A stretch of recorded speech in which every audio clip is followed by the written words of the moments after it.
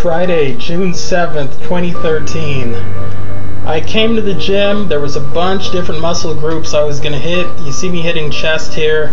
This is a dumbbell pullover. It's a move you don't see done too often. Um, and this followed up an incline bench press. And if you watched my last video, incline bench press on the Smith machine, if you watched my last video, I was trying to figure out a way to do a bench press with my long arms without torquing my shoulders that much, and it worked a little bit. Anyway, the dumbbell pullover followed up by a modified yoga pose, the child pose.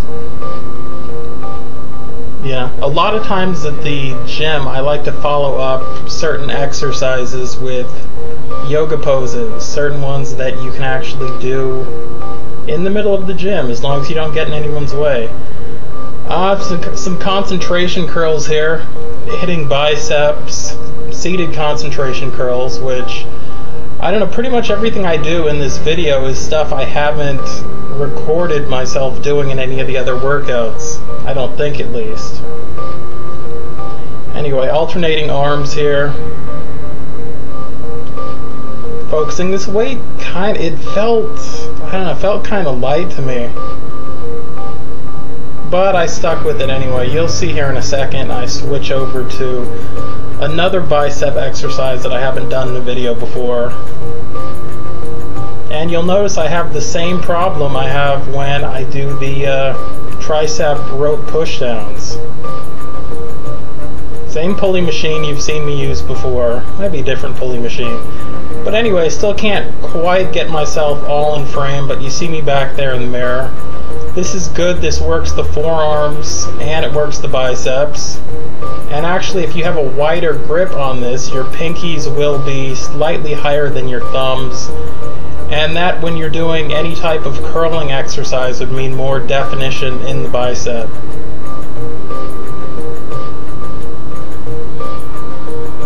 single arm pulleys here. You see I've switched the grip and this is just to make sure that neither arm is cheating or doing more work than the other one. This is probably as usual with this machine set number 5 or 6 I'm recording just because I didn't like the other angles and until I'm done with the set I have no idea what the angle looked like. So finishing up these curls on the pulley machine.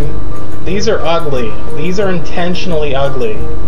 This is what a lot of people do at the gym every time they do curls.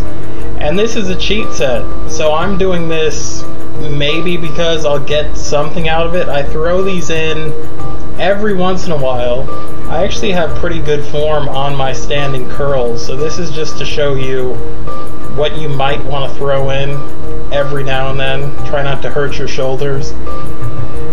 My shoulders aren't actually pinned back as well as they should be, so I'm getting a lot more out of shoulders and not as much out of biceps as I could get.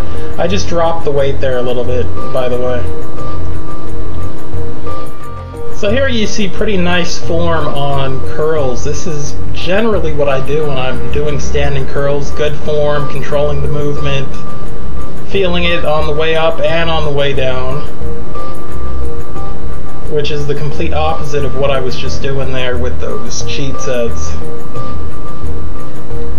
And here are the cheat sets. This is what they look like from the front, like crap. A lot of guys, this is every time they go to the gym.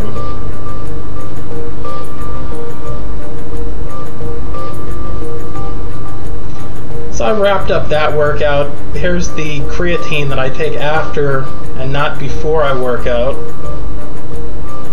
Mixing it with, I don't know, no idea what that blue liquid is. Anyway, that was the set. That was my workout today.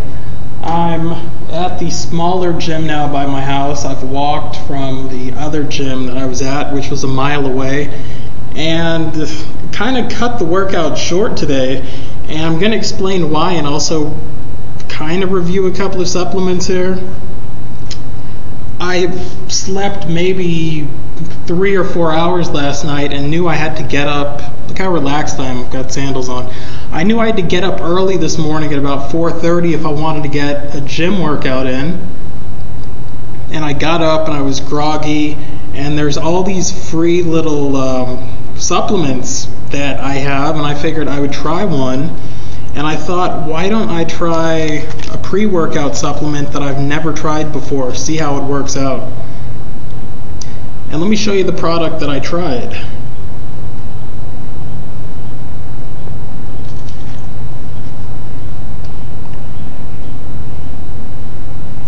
Here it is White Flood by Controlled Labs. There we go.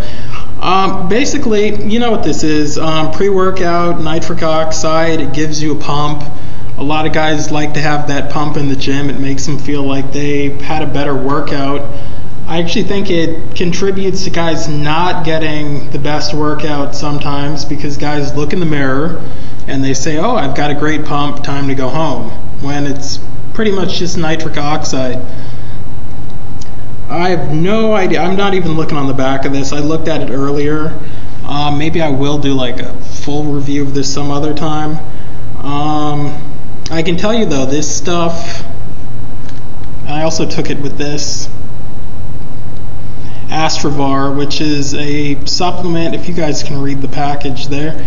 Um, this is a supplement that you take pre-workout and you stack it with other things. Um, Glucosamine is one of them. A lot of people take glucosamine and chondroitin because they have, you know, issues with their shoulders or issues with their knees or other joints. Um, L-arginine, uh, it helps restore muscle glycogen, so that's going to help you start recovering after your workout. Um, okay, so anyway, I really can't review this product. It's the second time I've taken it. I, you know, take it if you want to. I don't know. Look up reviews online. I can't really tell any difference. If it works, awesome. If not, that kind of sucks because I paid for it. Anyway, White Flood. This stuff made me kind of sick. I felt sick at the gym, and because of that, I went home and it dramatically cut my workout maybe more than uh, even in half. So I don't know. Maybe I, it was just a combination of not sleeping, or who knows. But anyway, this stuff probably won't be taking it again. And maybe it's great. Maybe there's people watching this and they love this product. But let me tell you about another product that I've taken before. And this was a product, I don't know which day I took this on. It would have been May 25th or something. I don't know. Anyway, I'll figure it out and I will post that uh, that information here somewhere on the screen so you guys can go back and watch that workout and see how I look then. Probably look pumped up because it's another pre-workout that has nitric or nitrous oxide in it. Um, but this stuff is pretty awesome. And this is also stuff that I stacked again with Astrovar. And I worked out on this stuff probably for two and a half hours and had a great workout for those who are into the pump, like I said. You get a great pump. Um, I don't know if it made me more focused. It's kind of hard to gauge that. I know there is a product that made me a lot more focused that I've stopped taking because potentially dangerous and maybe it's going to come off the market in the United States if they haven't already changed the formula. And I think in a lot of countries it's already banned. And I will tell you about that product some other time. Maybe I'll do a full product review. Anyway, let me show you the awesome stuff that I've taken before pre workout. There it is, Ripped Freak. Let me see who this is by. Pharma Freak. This product is awesome. I'm not going to tell you to try this product because you might die. But if you don't die, you will have an awesome workout with this product, potentially, because I have.